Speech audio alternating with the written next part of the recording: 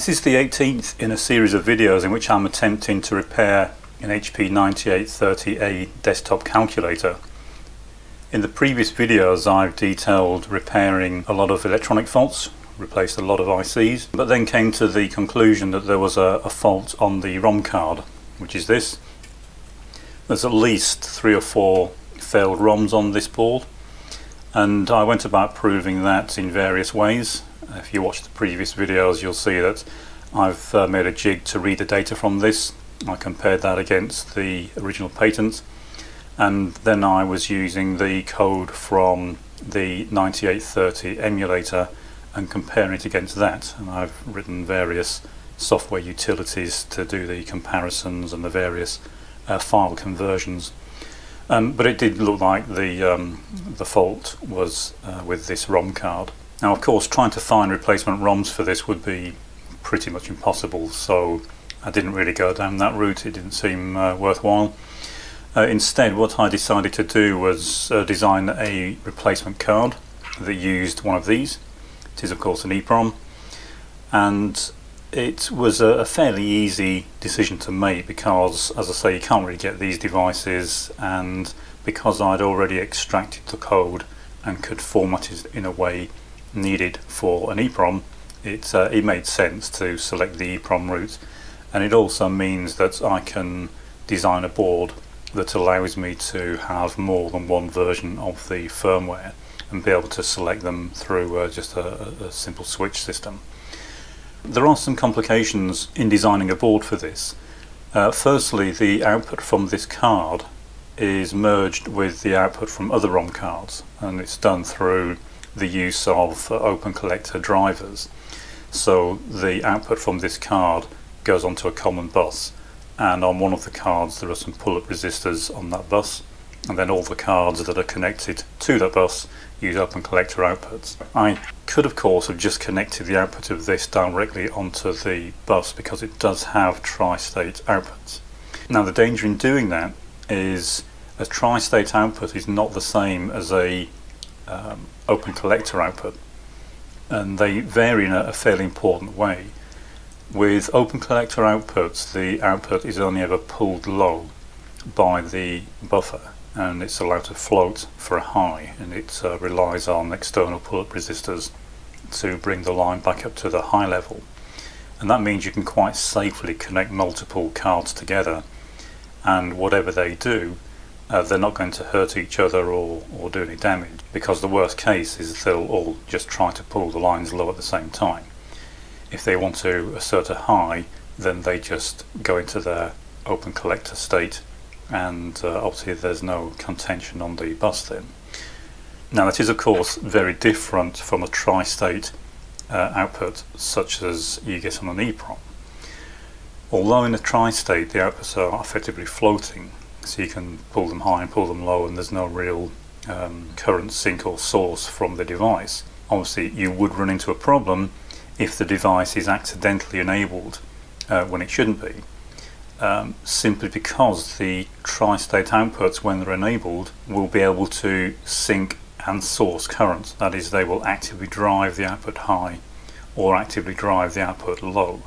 And if you have two devices connected to each other doing that something's going to get damaged so in other words if this is connected to a bus and another card is trying to uh, pull the line low while this is trying to um, pull the line high then obviously something's going to give and uh, there's going to be some damage somewhere. So I decided not to do that and I would stick to the same regime as used on the original card and that is to use um, open collector drivers for the output. So I designed a board based around that and the prototype has finally arrived. In fact I've ordered a few of these. And I've checked to make sure that um, mechanically I got the dimensions correct and luckily it is correct. It does fit into the machine and all the uh, edge connectors line up the way they should. It is of course double-sided. Um, this uh, of course is based around the device uh, I just showed now I may need to make a modification to this card. I didn't build it into the original design. I don't like making designs more complex than they need to be. Um, whether it's going to be required or not, I'm not quite sure yet, but it's based around the fact that there are two address 8 pins on each of the original ROMs. Very strange arrangement, so effectively the ROM is kind of like two smaller ROMs uh, internally, and there's an address 8 line going to uh, each of those two uh, sections of the ROM. There's an address 8 and a not address 8 so they are supposed to be mutually exclusive, that is one's high, the other's low and vice versa, and they should never be both high at the same time.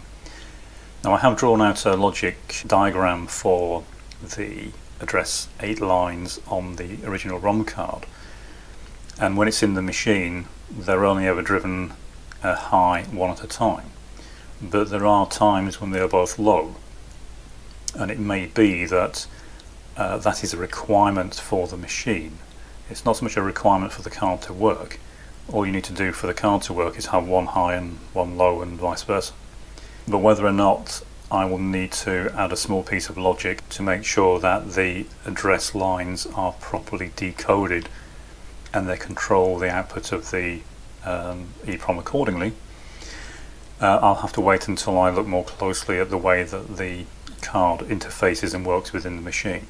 I've had a good look at it and I'm fairly certain I might need to put some simple decoding in there but unfortunately I couldn't find a data sheet for these EEPROMs so I'm not quite sure exactly um, what happens to the outputs when both lines are uh, actually low. It might be that the lines actually enable or disable the outputs rather than driving them all high or low but I'll have to see uh, how that works.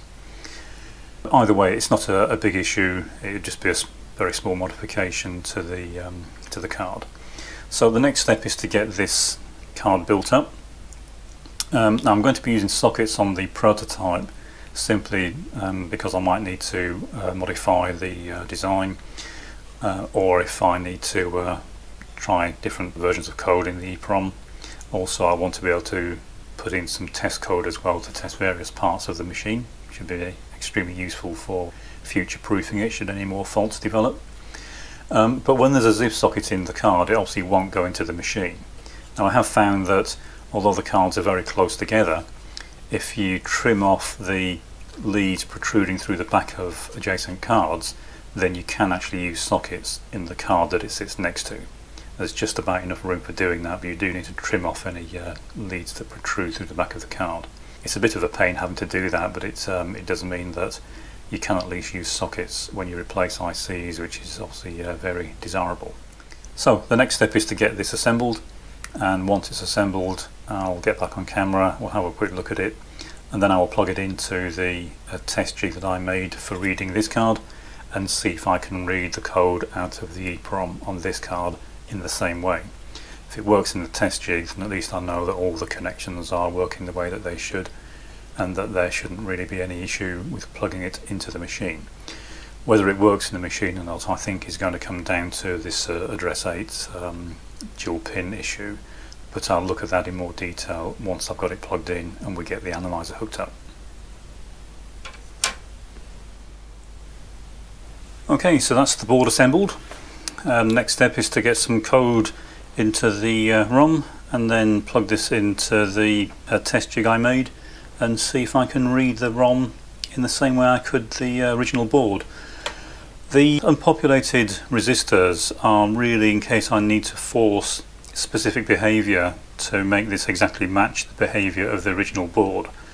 I don't think they'll be needed but just in case I've included these uh, and also these resistors would normally be on the T register card but if I want to run this outside of the machine for test purposes or any other reason then I can fit these and I won't need to uh, worry about external pull-ups. As I said I'm using the same system here of open collector drivers so without the pull-ups the outputs wouldn't really do anything and if I want to run the card in isolation then uh, I can just fit these and it'll make it uh, much easier to test.